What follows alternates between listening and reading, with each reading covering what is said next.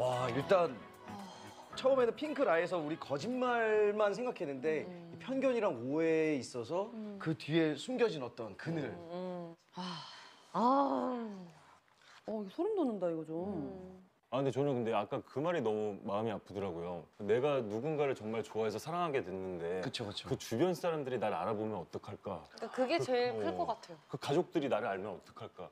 저는 그게 너무 가슴이 아프더라고요. 그렇네 되게 용기 내서 나오신 것 같아요. 근데 보니까 약간 다른 연애 리얼리티랑 조금 느낌이 많이 다른 달라요. 게 음. 일단 거짓말 하나씩은 네, 할 수 있는. 어. 야 아 근데 또 걱정되는 게 나중에 밝혀졌을 때 상대방이 절망하는 걸 보는 거야 내가.